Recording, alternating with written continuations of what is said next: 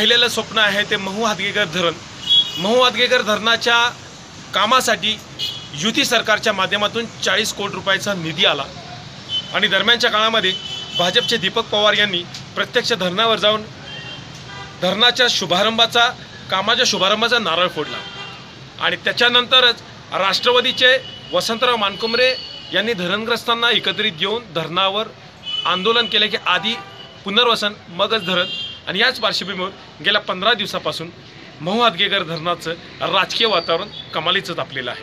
आणि याच दरम्यान थेट दीपक पवार यांनी थेट जिल्हाधिकारी यांना धरण स्थळावर येण्याचं निमंत्रण दिलं आणि धरणग्रस्तांचे प्रश्न निकाली काढण्यासाठी बोलवलं. आणि त्याच दरम्यान वसंतराव मानकोमरे यांनीही धरणस्थळावर जिल्हाधिकारी जिल्हाधिकारी यांना निमंत्रण दिलं होतं. आणि अशावेळी भाजपकडे आणि राष्ट्रवादीचे नेते वसंतराव मानकोमरे असे दोन तंबू धरणस्थळावर ते त्या ठिकाणी निर्माण झाले आणि दोन्ही तंबूत जिल्हाधिकाऱ्यांनी भेट दिली आणि धरणग्रस्तांचे प्रश्न समजून घेतले. आपण पाहणार आहोत थेट दीपक पवार यांच्या तंबूत ज्यावेळी जिल्हाधिकारी गेले त्यावेळी दीपक पवार यांनी जिल्हाधिकारी यांच्याकडे धरणग्रस्तांचे काय गाणे मांडले आपण पाहणार पहिला हप्ता पवारसाहेब घ्या आणि बाकीच्या गोष्टी पुढे तुम्ही विचार करा. मग अशा माध्यमातून हे आपण धरणाला पैसे आणले. आणि पैसे आणल्या आणल्या मुजोर साहेब धरणावर भयंकर कंगाळा झाला. मोठे ओरडे झाले. चाळीस कोट आले मग सतरा वर्षानंतर मॅडम यांना आता पुनर्वसनाचे प्रश्न आठवले. आत्ता आठवले बघा आता सतरा वर्षामध्ये कुठेही पुनर्वसनाच्या संदर्भात कलेक्टर असू द्या पुनर्वसन अधिकारी असू द्या कुठेही यांनी तुमच्याकडं संपर्क साधला नाही. मॅडम मी त्यांना सांगतो त्यांची जी संघटना आहे ना ती सुद्धा रजिस्टर नाहीये. विना रजिस्टर असलेल्या संघटना आहेत. का विरोध करता तुम्ही? कशा करता करता? आम्ही दादा म्हणले आपल्याला एक काम करायचे. ठीक आहे काम करायचे. मी काय धरणग्रस्तांना विचारून पैसे आणले का? एक आपल्या तालुक्यातला मोठा प्रकल्प आहे. आणि या प्रकल्पाच्या माध्यमातून आपल्या तालुक्याची आर्थिक वाहिनी ही चांगल्या पद्धतीने सुधारेल. महादृष्टिकोन डोक्यात ठेवला आणि आम्ही या धरणाच्या कामाला लागलो. मग हे कामकाज करत असताना ह्या गोष्टी तुम्ही का करायच्या? तुम्हाला सतरा वर्ष संधी दिली होती ना? काय दिवे लावले तुम्ही? मग आता शांत बसा ना. आमचे दिवे बघा. आमचा प्रकाश किती पडतो तो बघा. म्हणून आज तुम्हाला मी इथे बोलवलेलं आहे. मॅडम धरणाचं पूर्णपणे संरक्षण करून त्याचं फेर पाटाचं जे फेर संरक्षण आहे त्याचं फेर संरक्षण करा. पण आज तुम्ही पाईपद्वारे कॅनल घेणार आहे. त्यामुळं जे काही बरेचसे प्रश्न अडचणी होते ते ऑटोमॅटिक सुटले जाणार आहेत. त्यामुळे त्याची काही अडचण येणार नाही आता माझी एक मॅडम तुम्हाला विनंती आहे. वसंतरावजी मानकुंबरे साहेब हे जिल्हा परिषदचे उपाध्यक्ष आहेत. त्यांची बडबड त्यांचं वक्तव्य हे तुम्ही ऑब्झर्व करा. हात काढतो पाय काढतो. वैफल्यग्रस्त होणे त्यांचं बडबड आता चाललेलं आमच्याकडनं काहीही बडबड चाललेली नाही. आम्ही नुसतं त्यांचं ऐकतोय. हात काढतो पाय काढतो माझ्या हातीत येऊ नका तसं येऊ नका. तर मॅडम त्यांची थोडी आरोग्य तपासणी करून घ्या. त्यांची वैद्यकीय म्हणजे वैद्यकीय तपासणी का करा? तर एक चांगले प्रतिनिधी आहेत ते. त्या जिल्ह्याचे जिल्हा परिषदचे उपाध्यक्ष आहेत.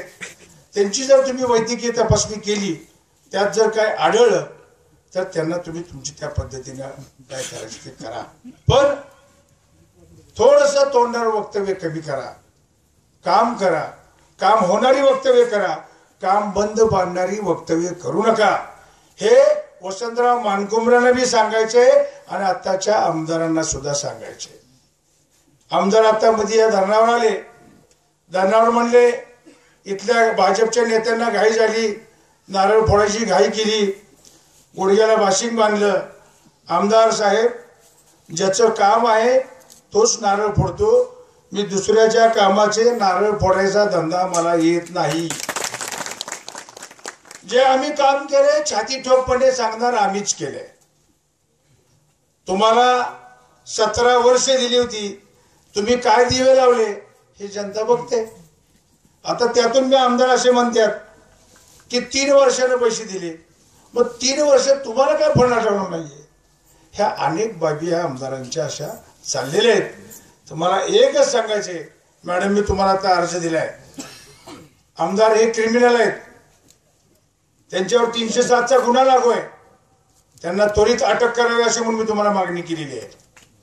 का केली आहे आज तिथं गोळीबार फौजदारी गुन्हे त्यांच्यावर चालू आहेत.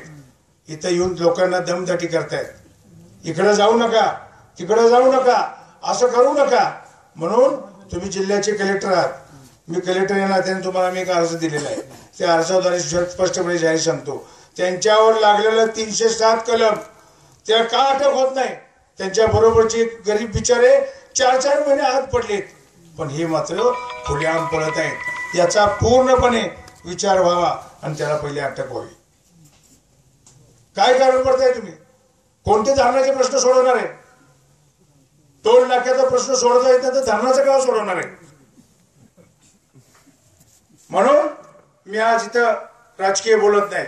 सगळे तुम्ही पदाधिकारी आलात. अधिकारी आहेत. म्हणून मी तुम्हाला आवर्जून सांगतो या धरणाचं मॅडम काम तुम्ही व्यवस्थित बघा. कोण आडवं आलं आम्हाला सांगा. तुम्ही तुमचा कायदा वापरा.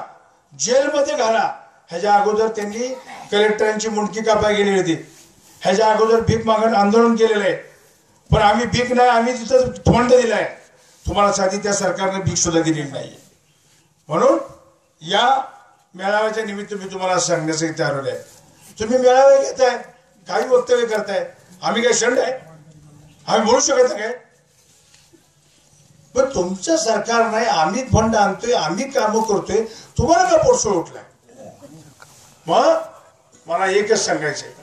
कलेक्टर मॅडम तुम्हाला मी आमच्या ह्या विनंतीवजा तुम्हाला निवेदन दिलेलं आहे. या धरणग्रस्तांचे प्रश्न प्रामुख्यानं सोडवा आणि धरणाचं काम त्वरित चालू करा. एवढे या निमित्त सांगतो. आपण सर्वजण पदाधिकारी पदाधिकारी आलात. मी तुमचं मनापासून स्वागत करतो अभिनंदन करतो. जय हिंद जय महाराष्ट्र.